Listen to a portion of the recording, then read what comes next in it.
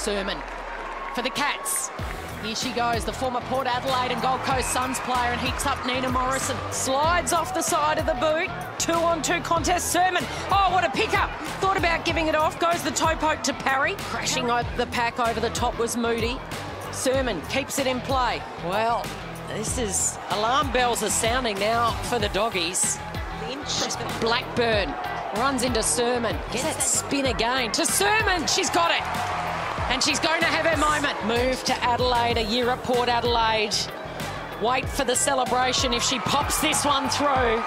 It's a dazzling debut in the hoops for the Victorian. Unfortunately, out on crutches, but great to see the girls giving her a big hug and getting around her. Surman back to Parry for her third. Poor Morrison.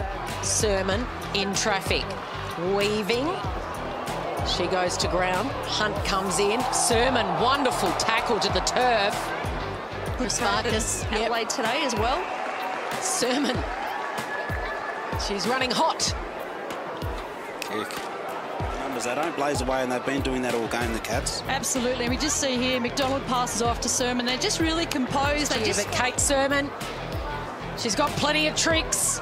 She goes on her left. She curls it back. It's perfection from the Geelong pocket. Well, Cole, you wanted a celebration. It was a little bit more. The first goal that she kicked, she was a little bit quiet, but uh, certainly a nice...